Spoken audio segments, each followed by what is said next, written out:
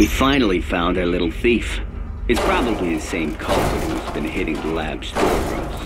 She ended up dropping a purloined biomaster in a hurry to get away. Looks like she was heading towards the old abandoned labs. I'll file a full report when I get back. Security can handle this one from here on out.